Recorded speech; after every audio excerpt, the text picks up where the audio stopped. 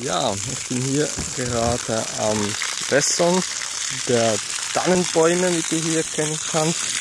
Und so sieht es ganz aus. So, damit sie da entsprechend über genügend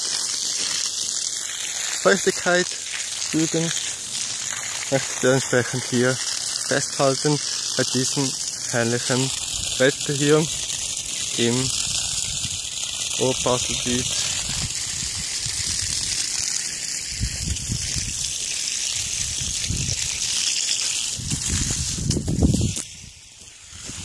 Und hier sehr schön das Ganze sehen.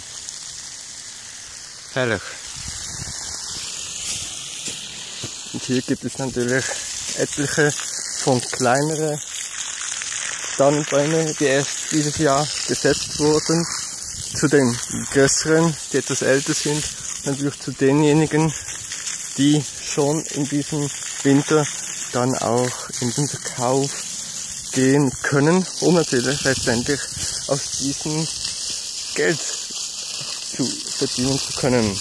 Aber das ist natürlich saisonal begrenzt und aus diesem Grund braucht es da eine gewisse Vorlaufzeit und diese ja, ist betrifft die Arbeit, die von außen nicht gesehen wird, sondern die wird einfach gemacht und dann, wenn es soweit ist, ja, dann sieht man nur noch die Weihnachtsbäume und die Arbeit, die man ge gehabt, gehabt hatte, mit der Pflege, mit der Gießen wegen der Trockenheit, diese sieht man dann entsprechend nicht. Das ist sehr schade, weil bis eine Pflanze wächst, das braucht einfach seine Zeit.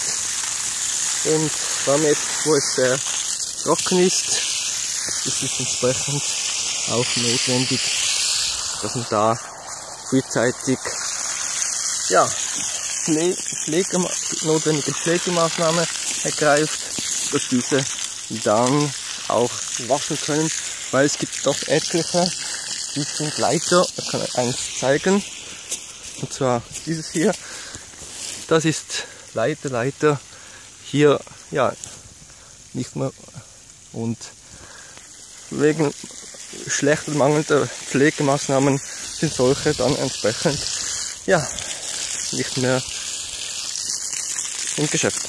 Gut, vielen Dank und dann habe ich dann noch ein bisschen zu tun. Bis zum nächsten Mal.